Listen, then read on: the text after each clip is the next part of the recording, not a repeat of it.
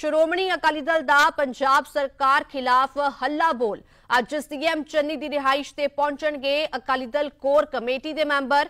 Core committee member CM ਦੀ ਰਿਹਾਇਸ਼ ਅੱਗੇ ਦੇਣਗੇ ਆਪਣੀ ਗ੍ਰਿਫਤਾਰੀਆਂ।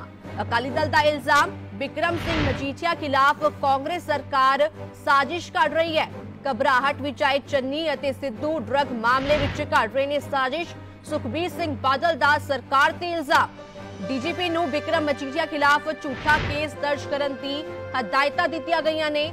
ਜੇ ਚੰਨੀ ਵਿੱਚ ਹਿੰਮਤ ਹੈ ਤਾਂ ਸਾਡੀ ਸਾਰੀ ਲੀਡਰਸ਼ਿਪ ਨੂੰ ਚੰਨੀ ਗ੍ਰਿਫਤਾਰ ਕਰਨ। ਦਬਾਅ ਹੇਠ ਝੂਠੇ ਕੇਸ ਦਰਜ ਕਰਨ ਵਾਲੇ ਅਫਸਰਾਂ ਨੂੰ ਵੀ ਚੇਤਾਵਨੀ ਦਿੱਤੀ ਗਈ ਹੈ। ਸਾਡੀ ਸਰਕਾਰ ਆਉਣ ਤੇ ਕਮਿਸ਼ਨ ਬਿਠਾ ਕੇ ਝੂਠੇ ਪਰਚਿਆਂ ਦੀ ਜਾਂਚ ਕਰਾਵਾਂਗੇ।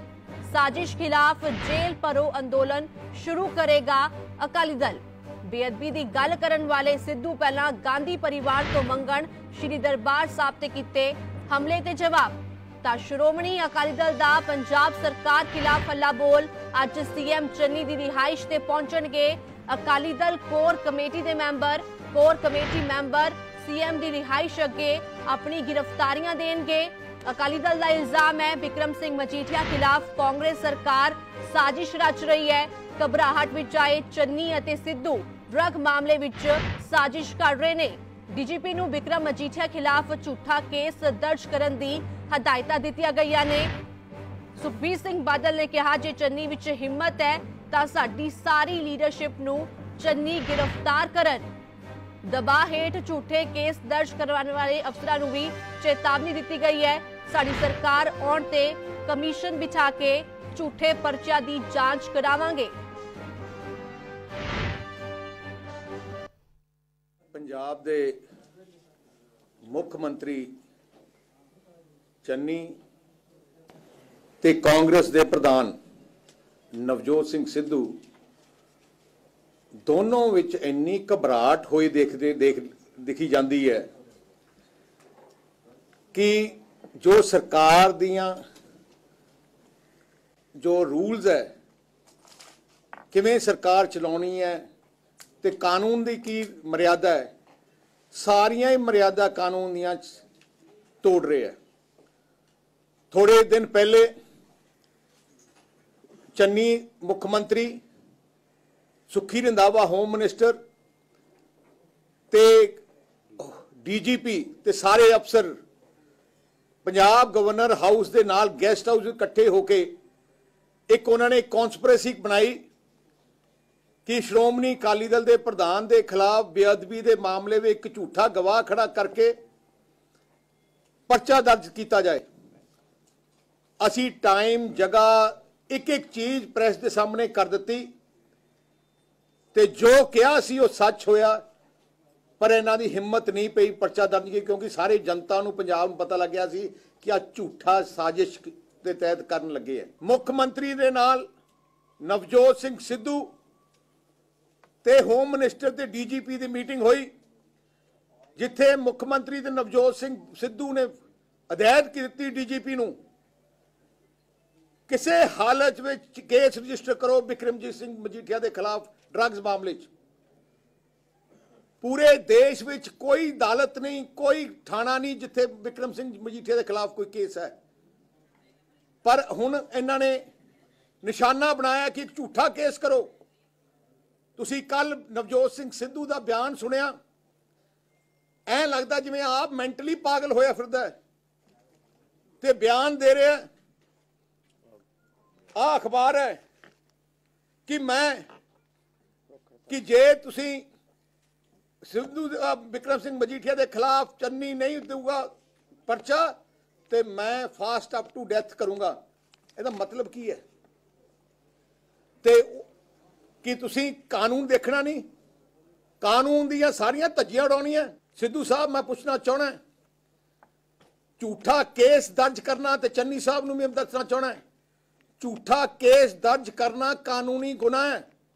ਤੇ ਮੈਂ ਅਫਸਰ ਸਾਹਿਬਾਨ ਨੂੰ ਵੀ ਦੱਸਣਾ ਚਾਹਣਾ ਕਿ ਝੂਠੇ ਕੇਸ ਦਰਜ ਕਰਨਾ ਕਾਨੂੰਨੀ ਗਵਾਹ ਹੈ। ਪਿਛਲੇ 5 ਸਾਲਾਂ 'ਚ ਕਾਂਗਰਸ ਦੇ ਐਮਐਲਏ ਨੇ, ਕਾਂਗਰਸ ਦੇ ਲੀਡਰਸ਼ਿਪ ਨੇ ਸਾਡੇ ਕੋਲੇ ਲੰਬੀ ਲਿਸਟ ਹੈ ਹਜ਼ਾਰਾਂ ਕੇਸਾਂ ਦੀ, ਜਿੱਥੇ ਝੂਠੇ ਕੇਸ ਦਰਜ ਕੀਤੇ ਗਏ ਹੈ ਵਰਕਰਾਂ ਤੇ। ਤੇ ਮੈਂ ਅੱਜ ਐਲਾਨ ਕਰਨਾ ਚਾਹਣਾ ਆ ਇਹਨਾਂ ਦਾ ਕੱਲਾ ਮਹੀਨਾ ਹੀ ਰਹਿ ਗਿਆ। ਇੱਕ ਮਹੀਨੇ, ਦੋ ਮਹੀਨੇ ਬਾਅਦ ਜੋ ਸਰਕਾਰ ਨਵੀਂ ਆਊਗੀ, ਇੱਕ ਕਮਿਸ਼ਨ ਬਿਠਾਇਆ ਜਾਊਗਾ, ਜਿਹੜਾ ਸਾਰੇ ਹੀ ਝੂਠੇ ਕੇਸ ਨੂੰ ਆਇਡੈਂਟੀਫਾਈ ਕਰੂਗਾ। ਤੇ ਅੱਜ ਵਾਅਦਾ ਕਰਦੇ ਹਾਂ ਕਿ ਜਿਹੜੇ ਅਫਸਰਾਂ ਨੇ ਝੂਠਾ ਕੇਸ ਕੀਤਾ ਹੈ ਤੇ ਜਿਹੜੇ ਪੋਲੀਟੀਕਲ ਲੀਡਰਾਂ ਨੇ ਕਰਾਇਆ ਉਹ ਦੋਨਾਂ ਤੋਂ ਪ੍ਰੋਸੀਕਿਊਟ ਕੀਤਾ ਜਾਊਗਾ। ਨਵਜੋਤ ਸਿੰਘ ਸਿੱਧੂ ਪਾਰਟੀ ਦਾ ਪ੍ਰਧਾਨ ਹੈ। ਕੀ ਉਹ ਪੰਜਾਬ ਪੁਲਿਸ ਹੈ? ਕੀ ਉਹ ਪੰਜਾਬ ਦਾ ਚੀਫ ਮਿਨਿਸਟਰ, ਹੋਮ ਮਿਨਿਸਟਰ ਹੈ? ਉਹ ਚੀਫ ਜਸਟਿਸ ਹੈ? ਕੀ ਜੱਜ ਵੀ ਆਪ ਬਣਿਆ ਫਿਰਦਾ ਹੈ ਤੇ ਪੁਲਿਸ ਵੀ ਆਪ ਬਣਿਆ ਫਿਰਦਾ ਹੈ? ਉਹ, ਉਹਦੇ ਕੋਲੇ ਕੀ ਪ੍ਰੂਫ ਹੈ? ਮੈਨੂੰ ਪ੍ਰੂਫ ਦੱਸੇ। ਰੋਜ਼ ਬਿਆਨ ਦਊਗਾ ਕਿ ਕ- ਇੱਕ ਅਸੀਂ ਉਹ ਜਿਹੜੀ ਸੀਲਡ ਕਵਰ ਖੋਲੋ ਸੀਲ ਕਵਰ ਦਾ ਸਿੱਧੂ ਨੇ 2 ਸਾਲ ਪਹਿਲਾਂ ਹੀ ਖੋਲਤਾ ਸੀ, ਕੋਰਟ ਦੀ ਵਾਇਲੇਸ਼ਨ ਕਰਕੇ। ਤੇ ਲੋਕਾਂ ਨੂੰ ਗੁੰਮਰਾਹ ਕਰਨ ਵਾਸਤੇ ਸਿੱਧੂ ਨੂੰ ਆਪ ਪਤਾ ਨਹੀਂ ਕੁਛ। ਮੈਂਟਲ ਹੋਇਆ ਫਿਰਦਾ ਫਰਸਟ੍ਰੇਟ ਹੋਇਆ ਪਿਆ। ਮੈਂ ਕਹਿੰਦਾ, ਜੇ ਜੀ ਤਰੀਕੇ ਨਾਲ ਉਹ ਬੋਲਦਾ, ਭਾਸ਼ਣ ਦੇਦਾ ਬਲੱਡ ਪ੍ਰੈਸ਼ਰ ਇੰਨਾ ਵੱਧ ਵੱਧ ਰਿਹਾ ਉਹਦਾ, ਮੈਨੂੰ ਲੱਗਦਾ ਇਹਨੂੰ ਮੈਡੀਕਲ ਟ੍ਰੀਟਮੈਂਟ ਦੀ ਲੋੜ ਪੈਣੀ ਹੈ। ਪਹਿਲੇ ਥ੍ਰੈਟ ਕਰਦਾ ਜੀ, ਤੁਸੀਂ ਨਾ ਕੀਤਾ, ਮੇਰਾ ਏਜੀ ਨਾ ਲਾਇਆ ਤਾਂ ਮੈਂ ਛੱਡ ਦੂੰਗਾ। ਮੇਰਾ ਡੀਜੀਪੀ ਇਹਨੂੰ ਨਾ ਕੱਢਿਆ ਤਾਂ ਮੈਂ ਛੱਡ ਦੂੰਗਾ। ਹੁਣ ਕਹਿੰਦਾ ਕਿ ਜੇ ਪਰਚਾ ਦਰਜ ਨਾ ਕਰਦਾ ਮੈਂ ਭੁੱਖ ਹੜਤਾਲ ਤੇ ਰਹਿ ਜਾਊਂਗਾ। ਕਿਤੇ ਨਵਜੋਤ ਸਿੱਧੂ ਨੇ ਕਿਹਾ ਕਿ ਜੇ ਟਾਈਟਲਰ ਨੂੰ ਉਹਨਾਂ ਨੇ ਕਾਂਗਰਸ ਦਾ ਪ੍ਰਧਾਨ ਅਬ ਮੈਂਬਰ ਬਣਾਇਆ ਕਿ ਮੈਂ ਉਹਨੂੰ ਲਾਓ ਤੇ ਮੈਂ ਛੱਡ ਦੂੰਗਾ। ਕੀ ਨਵਜੋਤ ਸਿੱਧੂ ਨੇ ਕਿਹਾ ਕਿ ਜੇ ਕਾਂਗਰਸ ਪਾਰਟੀ ਜੀ ਨੇ ਟੈਂਕਾਂ ਤੋਪਾਂ ਨਾਲ ਸਭ ਤੋਂ ਵੱਡੀ ਬੇਅਦਬੀ ਕੀਤੀ ਹੈ, ਕਿ ਗਾਂਧੀ ਪਰਿਵਾਰ ਦੇ ਖਿਲਾਫ, ਨਹਿਰੂ ਗਾਂਧੀ ਪਰਿਵਾਰ ਦੇ ਖਿਲਾਫ ਕੋਈ ਬੋਲਿਆ ਨਵਜੋਤ ਸਿੰਘ ਸਿੱਧੂ, ਬਿਆਨ ਬੇਅਦਬੀ ਦੀ ਦੇਣ ਤੋਂ ਪਹਿਲੇ ਮੈਨੂੰ ਦੱਸੋ ਕੋਈ ਤੁਸੀਂ ਕਿਸ ਪਾਰਟੀ ਦੇ ਪ੍ਰਧਾਨ ਹੋ? ਕਾਂਗਰਸ ਪਾਰਟੀ ਜਿਸ ਪਾਰਟੀ ਦੇ ਤੁਸੀਂ ਪੰਜਾਬ ਦੇ ਪ੍ਰਧਾਨ ਹੋ ਟੈਂਕਾਂ ਤੋਪਾਂ ਨਾਲ ਦਰਬਾਰ ਸਾਹਿਬ ਦੇ ਹਮਲਾ ਕਰਨ ਵਾਲੀ ਪਾਰਟੀ ਹੈ। ਹਜ਼ਾਰਾਂ ਗੁਰੂ ਘਰਾਂ ਤੇ ਅ, ਉੱਥੇ ਹਮਲਾ ਕਰਨ ਵਾਲੀ ਪਾਰਟੀ ਹੈ। ਹਜ਼ਾਰਾਂ ਸਿੱਖ ਭੈਣ ਭਰਾਵਾਂ ਦਾ ਕਤਲੇਆਮ ਕਰਨ ਵਾਲੀ ਪਾਰਟੀ ਆ ਤੁਸੀਂ ਉਹਦੇ ਪ੍ਰਧਾਨ ਹੋ। ਕੀ ਤੁਸੀਂ ਅਸਤੀਫਾ ਦੋਗੇ ਜੇ ਤੁਸੀਂ ਬੇਅਦਬੀ ਦੀ ਗੱਲ ਕਰਦੇ ਹੋ। ਸਭ ਤੋਂ ਪਹਿਲੇ ਅਸਤੀਫਾ ਪਾਰਟੀ ਦੀ ਪ੍ਰਧਾਨਗੀ ਤੋਂ ਦੇਣਾ ਚਾਹੀਦਾ ਹੈ। ਡਰਾਮੇ ਕੁਝ ਮਰਜ਼ੀ ਕਰ ਲਓ। ਦੇਸ਼ ਦਾ ਕਾਨੂੰਨ ਹੈ। ਪਿਛਲੇ 5 ਸਾਲ ਨਾ ਬਾਦਲ ਪਰਿਵਾਰ ਦੇ ਖਿਲਾਫ, ਨਾ ਮਜੀਠੀਆ ਖਿਲਾਫ ਦੇ ਪਰਿਵਾਰ ਦੇ ਖਿਲਾਫ, ਜਾਂ ਕਿਸੇ ਕਾਲੀ ਪਰਿਵਾਰ ਦੇ ਖਿਲਾਫ। ਇੱਕ ਇੱਕ ਕਾਲੀ ਵਰਕਰ ਦੇ ਖਿਲਾਫ ਕੋਈ ਇੱਕ ਦੋਸ਼ ਨਹੀਂ ਕੱਢ ਸਕੇ ਕਿ ਆਹ ਵਰਕਰ ਡਰੱਗਸ ਦੇ ਮਾਮਲੇ 'ਚ ਇਨਵੋਲਡ ਹੈ ਇੱਕ, ਜੇ ਹਿੰਮਤ ਹੈ, ਜੇ ਡਰੱਗ ਮਾਮਲੇ ਦਾ ਅਸਲੀਅਤ ਪਤਾ ਕਰਨਾ ਹੈ, ਤਾਂ ਕਿਉਂ ਨਹੀਂ ਤੁਸੀਂ ਸਿਟਿੰਗ ਜੱਜ ਹਾਈ ਕੋਰਟ ਦੇ ਦੀ ਇਨਵੈਸਟੀਗੇਸ਼ਨ ਆਰਡਰ ਕਰੋ? ਜੇ ਹਿੰਮਤ ਹੈ, ਕੋਰ ਕਮੇਟੀ ਦੀ ਮੀਟਿੰਗ ਹੋਈ ਹੈ ਅਸੀਂ ਸਾਰੀ ਕੋਰ ਕਮੇਟੀ 11 ਵਜੇ ਚੰਨੀ ਸਾਹਿਬ ਦੇ ਮੁੱਖ ਮੰਤਰੀ ਘਰ ਦੇ ਸਾਹਮਣੇ ਅਸੀਂ ਆ ਰਹੇ ਹਾਂ। ਜੇ ਹਿੰਮਤ ਹੈ ਤਾਂ ਸਾਰਿਆਂ ਦੇ ਕੇਸ ਝੂਠਾ ਕਰਨਾ ਹੈ ਤੇ ਸਾਰਿਆਂ ਤੇ ਕਰੋ। ਉਹਦੇ ਬਾਅਦ ਸਾਰੇ ਡਿਸਟ੍ਰਿਕਟ ਪ੍ਰਧਾਨਾਂ ਦੇ ਕਰ ਦਿਓ, ਕੈਂਡੀਡੇਟ ਕਰ ਦਿਓ। ਸ਼੍ਰੋਮਣੀ ਅਕਾਲੀ ਦਲ ਜੇ ਇਹਨਾਂ ਨੇ ਝੂਠੇ ਕੇਸ ਕਰਨੇ ਸ਼ੁਰੂ ਕੀਤੇ, ਪੂਰੇ ਸਟੇਟ ਵਿੱਚ ਸੰਘਰਸ਼ ਸ਼ੁਰੂ ਕਰੂਗਾ ਤੇ ਜੇਲ੍ਹ ਭਰੋ ਸ਼ੁਰੂ ਕਰੂਗਾ ਤੇ ਅੰਦੋਲਨ ਸ਼ੁਰੂ ਕਰੂਗਾ। ਅਸੀਂ ਨਾ ਜ਼ੁਲਮ ਸੇ ਨਾ ਅਸੀਂ ਜ਼ੁਲਮ ਕਰਨ ਦੇਣਾ ਹੈ। ਤੇ ਇਸ ਕਰਕੇ ਜੇ ਤੁਸੀਂ ਸੋਚਦੇ ਹੋ ਮਹੀਨਾ ਰਹਿ ਗਿਆ, ਤੁਸੀਂ ਜਿੰਨੇ ਕਾਨੂੰਨ ਦੀਆਂ ਧੱਜੀਆਂ ਉਡਾ ਸਕਦੇ ਹੋ, ਜੋ ਉਡਾਓਗੇ, ਹਰ ਚੀਜ਼ ਦਾ ਜਵਾਬ ਤੁਹਾਨੂੰ ਦੇਣਾ ਪੈਣਾ ਹੈ ਐ ਨਾ ਸੋਚੋ ਕਿ ਪੂਰੀ ਜ਼ਿੰਦਗੀ ਤੁਸੀਂ ਇਸ ਕੁਰਸੀ ਤੇ ਬੈਠੇ ਰਹਿਣਾ ਹੈ। ਜਿਨ੍ਹਾਂ ਨੇ ਤੁਹਾਨੂੰ ਕੁਰਸੀ ਤੇ ਬਿਠਾਇਆ ਉਹ ਤੁਹਾਨੂੰ ਅੱਜ ਪੰਜਾਬ 'ਚ ਵੜਨ ਨਹੀਂ ਦੇ ਰਹੇ ਅੱਜ ਰੋਜ਼ ਚੰਨੀ ਦੀ ਘਰਾਂ ਘੇਰੀਆਂ ਜਾ ਰਹੀਆਂ ਹੈ। ਡਾਂਗਾਂ ਨਾਲ ਟੀਚਰਾਂ ਨੂੰ ਤੇ ਦੂਜੇ ਮੁਲਾਜ਼ਮਾਂ ਨੂੰ ਕੁੱਟਿਆ ਜਾ ਰਿਹਾ ਹੈ। ਤੇ ਕਿੰਨੀ ਕੁ ਦੇਰ ਕੁੱਟ ਲਓਗੇ 1 ਮਹੀਨਾ ਮੈਕਸਿਮਮ ਕੁੱਟ ਲਓਗੇ ਉਹਦੇ ਬਾਅਦ ਪੰਜਾਬ ਦੀ ਜਨਤਾ ਥੋੜੀ ਜ਼ਮਾਨਤਾਂ ਜ਼ਬਤ ਕਰੂਗੀ ਤੇ ਤੁਸੀਂ ਪੰਜਾਬ ਦੀ ਕਚਹਿਰੀ ਜਦੋਂ ਜਾਣਾ ਹੈ। ਰਿਹਾਇਸ਼ ਤੇ ਪਹੁੰਚਣਗੇ ਅਕਾਲੀ ਦਲ ਕੋਰ ਕਮੇਟੀ ਦੇ member. Core committee member CM ਦੀ ਰਿਹਾਇਸ਼ ਅੱਗੇ ਆਪਣੀਆਂ ਗ੍ਰਿਫਤਾਰੀਆਂ ਦੇਣਗੇ। ਅਮਨ, ਸਾਡੇ ਸਹਿਯੋਗੀ ਹੋਰ ਜਾਣਕਾਰੀ ਦੇ ਨਾਲ ਜੁੜ ਕੇ ਨੇ ਤਾਂ ਅਮਨ, ਲਗਾਤਾਰ ਅਕਾਲੀ ਦਲ ਵੱਲੋਂ ਇਲਜ਼ਾਮ ਲਾਇਆ ਜਾ ਰਿਹਾ ਹੈ ਕਿ ਵਿਕਰਮ ਸਿੰਘ ਮਜੀਠੀਆ ਖਿਲਾਫ ਕਾਂਗਰਸ ਸਰਕਾਰ ਵੱਲੋਂ ਸਾਜ਼ਿਸ਼ ਰਚੀ ਜਾ ਰਹੀ ਹੈ।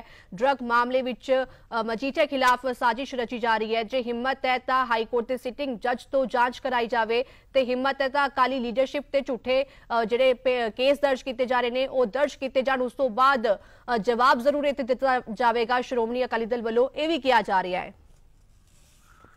ਸਾਫ਼ ਤੌਰ ਤੇ ਸਵਾਤੀ ਔਰ 11 ਵਜੇ ਦਾ ਸਮੇਂ ਜਿਹੜਾ ਹੈ, ਉਹ ਤੈਅ ਕੀਤਾ ਗਿਆ ਹੈ ਕਿ ਸੀਐਮ ਰਿਹਾਇਸ਼, ਚਰਨਜੀਤ ਚੰਨੀ ਦੀ ਰਿਹਾਇਸ਼ ਦੇ ਬਾਹਰ ਜਿਹੜਾ ਹੈ, ਉਹ ਗ੍ਰਿਫਤਾਰੀਆਂ ਦੇਣ ਕੋਰ ਕਮੇਟੀ ਜਾਏਗੀ ਔਰ ਜਿੰਨੇ ਕੋਰ ਕਮੇਟੀ ਦੇ ਮੈਂਬਰ ਨੇ ਉਹ 11 ਵਜੇ ਮੁੱਖ ਮੰਤਰੀ ਰਿਹਾਇਸ਼ ਤੇ ਜਾਣਗੇ ਔਰ ਸਾਫ਼ ਤੌਰ ਤੇ ਅਹ, ਕਹਿਣਾ ਹੀ ਹੈ ਕਿ ਜੋ ਸਾਜ਼ਿਸ਼ ਕਿਉਂਕਿ ਘੜੀ ਜਾ ਰਹੀ ਹੈ ਪਿਛਲੇ ਦਿਨਾਂ 'ਚ ਵੀ ਅਸੀਂ ਦੇਖਿਆ ਕਿ ਸਾਫ਼ ਤੌਰ ਤੇ ਅਹ, ਜੋ ਸਾਜ਼ਿਸ਼ ਘੜੀ ਜਾ ਰਹੀ ਸੀਗੀ ਔਰ ਅਹ, ਨਾਮਜ਼ਦ ਕਰਨ ਦਾ ਜਿਹੜਾ ਹੈ ਉਹ ਸਾਜ਼ਿਸ਼ ਘੜੀ ਜਾ ਰਹੀ ਸੀਗੀ। ਹੁਣ ਵੀ ਜਿਹੜਾ ਕੱਲ ਸੁਖਬੀਰ ਸਿੰਘ ਬਾਦਲ ਵੱਲੋਂ ਹੀ ਕਿਹਾ ਗਿਆ ਕਿ ਹੁਣ ਮੁੜ ਤੋਂ ਬੇਅਦਬੀ ਮਾਮਲੇ 'ਚ ਜਾਂ ਡਰਗ ਮਾਮਲੇ 'ਚ ਜਿਹੜਾ ਹੈ ਉਹ ਕਿਵੇਂ ਨਾਮਜ਼ਦ ਕੀਤਾ ਜਾਵੇ ਕਿਵੇਂ ਨਾਮ ਪਾਇਆ ਜਾਵੇ ਔਰ ਕਿਵੇਂ ਝੂਠਾ ਕੇਸ ਜਿਹੜਾ ਹੈ ਉਹ ਬਣਾਇਆ ਜਾਵੇ ਇਸ ਦੀ ਸਾਜ਼ਿਸ਼ ਘੜੀ ਜਾ ਰਹੀ ਹੈ ਅੰਦਰ ਖਾਤੇ।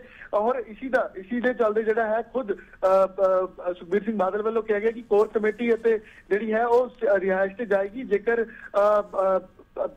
ਸਾਜ਼ਿਸ਼ ਘੜਨ ਦੀ ਕੋਈ ਜ਼ਰੂਰਤ ਨਹੀਂ ਹੈ ਜੇਕਰ ਬੰਦ ਤੁਸੀਂ ਸਿੱਧਾ ਹੀ ਕੋਰ ਕਮੇਟੀ ਨੂੰ ਪੂਰੀ ਨੂੰ ਹੀ ਗ੍ਰਿਫਤਾਰ ਕਰ ਲਿੱਤਾ ਜਾਵੇ। ਇਹ ਸੁਖਬੀਰ ਸਿੰਘ ਬਾਦਲ ਵੱਲੋਂ ਕੱਲ ਪ੍ਰੈਸ ਕਾਨਫਰੰਸ ਕਰਕੇ ਕਿਹਾ ਗਿਆ ਔਰ ਅੱਜ ਕੋਰ ਕਮੇਟੀ 11 ਵਜੇ ਜਿਹੜਾ ਹੈ ਜਾਏਗੀ ਔਰ ਅ, ਸਾਫ਼ ਤੌਰ ਤੇ ਜੋ ਅ, ਕਿਉਂਕਿ ਪੋਲਿਟੀਕਲ ਵੈਂਡੇਟਾ ਜ਼ਰੂਰ ਹੈਗਾ ਹੈ ਕਿ ਅ, 21 21 ਬਾਰ-ਬਾਰ ਕਿਹਾ ਜਾ ਰਿਹਾ ਕਿ ਚਾਹੇ ਉਹ ਡਰੱਗਸ ਹੈ ਬੇਅਦਬੀ ਹੈ ਉਸ ਤੇ ਬਾਰ-ਬਾਰ ਅ, ਸਾਜ਼ਿਸ਼ ਘੜੀ ਜਾ ਰਹੀ ਹੈ ਔਰ ਇਸੇ ਦੇ ਚੱਲਦੇ ਅੱਜ ਕੋਰ ਕਮੇਟੀ ਜਿਹੜਾ ਹੈ ਮੁੱਖ ਮੰਤਰੀ ਰਿਹਾਇਸ਼ ਦੇ ਬਾਹਰ ਜਾਏਗੀ ਗ੍ਰਿਫਤਾਰੀਆਂ ਦੇਣ ਲਈ ਔਰ ਜਿਵੇਂ ਹਾਈ ਕੋਰਟ ਦੇ ਹਾਈ ਕੋਰਟ ਦੇ ਸਿਟਿੰਗ ਜੱਜ ਤੋਂ ਜਾਂਚ ਕਰਵਾਉਣ ਦੀ ਮੰਗ ਜਿਹੜੀ ਹੈ ਉਹ ਵੀ ਕਹੀ ਹੈ ਕਿ ਜੇਕਰ ਅ, ਸਰਕਾਰ ਦੀ ਨੀਅਤ ਸਾਫ਼ ਹੈ ਔਰ ਅ, ਲੋਕਾਂ ਤੱਕ ਵੀ ਜਿਹੜਾ ਹੈ ਉਹ ਸੱਚਾਈ ਪਹੁੰਚਣੀ ਚਾਹੀਦੀ ਤਾਂ ਸਿਟਿੰਗ ਜੱਜ ਤੇ ਜਿਹੜਾ ਹੈ ਹਾਈ ਕੋਰਟ ਤੇ ਉਹ ਜਾਂਚ ਕਰਵਾਈ ਜਾਵੇ। ਜੇ ਝੂਠੀਆਂ ਗ੍ਰਿਫਤਾਰੀਆਂ ਝੂਠੇ ਕੇਸ ਜਿਹੜੇ ਨੇ ਉਹ ਨਾ ਹੋਣ। ਔਰ ਇਸੇ ਦੇ ਚੱਲਦੇ ਜਿਹੜਾ ਹੈ ਅੱਜ 11 ਵਜੇ ਮੁੱਖ ਮੰਤਰੀ ਰਿਹਾਇਸ਼ ਦੇ ਬਾਹਰ ਜਿਹੜਾ ਹੈ ਉਹ ਕੋਰ ਕਮੇਟੀ ਵਿਖੇਗੀ। ਅ, ਸਾਫ਼ ਤੌਰ ਤੇ ਬਿਲਕੁਲ ਤਾਂ Akali Dal core committee member ਅੱਜ ਮੁੱਖ ਮੰਤਰੀ ਚੰਨੀ ਦੀ ਰਿਹਾਇਸ਼ ਅੱਗੇ ਗ੍ਰਿਫਤਾਰੀਆਂ ਦੇਣਗੇ। ਡਰਗ ਮਾਮਲੇ ਵਿੱਚ ਝੂਠਾ ਕੇਸ ਕਰਕੇ ਮਜੀਠੀਆ ਦੀ ਗ੍ਰਿਫਤਾਰੀ ਦੀ ਸਾਜ਼ਿਸ਼ ਕਰਨ ਦਾ ਇਲਜ਼ਾਮ ਲਾਇਆ ਜਾ ਰਿਹਾ ਹੈ। ਸ਼ੁਕਰੀਆ। ਜਾਣਕਾਰੀ ਲਈ ਅਮਨ।